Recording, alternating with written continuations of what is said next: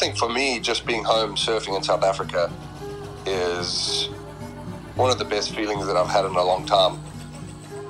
I think just having that relationship with places like J Bay, it doesn't matter what time of the year I show up there. It can be howling onshore, but I've got this connection with the place. Ever since the first time I've surfed there, it's been one of the greatest uh, loves of my life. I used to think when I was a kid that the J stood for Jordy, and I always used to say it's Jordy's Bay, it's Jordy's Bay. I guess when I was younger, I just wanted to win pretty much. It, it never really was about like against who or or what. It was more about just win, win, win. I've never been much of a dreamer. I've always just set goals. I felt like dreams felt to me like they were not really possible. And I thought, you know, goals kind of just felt way more realistic and way more real and way more achievable.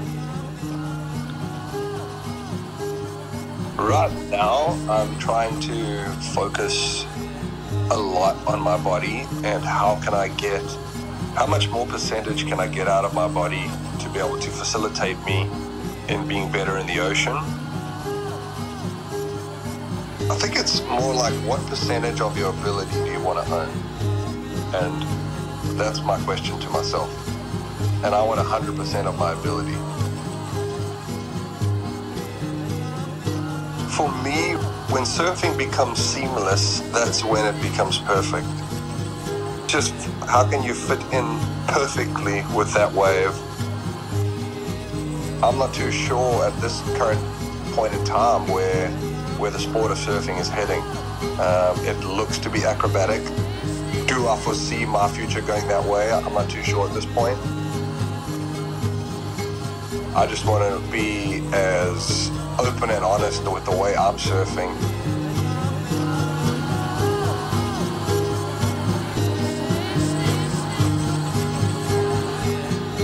The last competitive year, 2019, that was that was really really fun.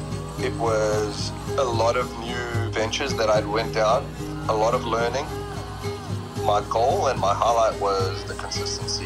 I wanted to have my most consistent year.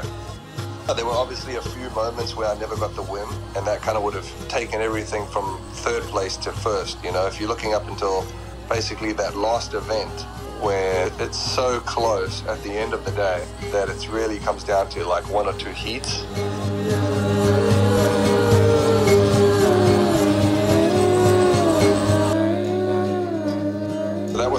really interesting when you kind of look back at it like that on a whole year.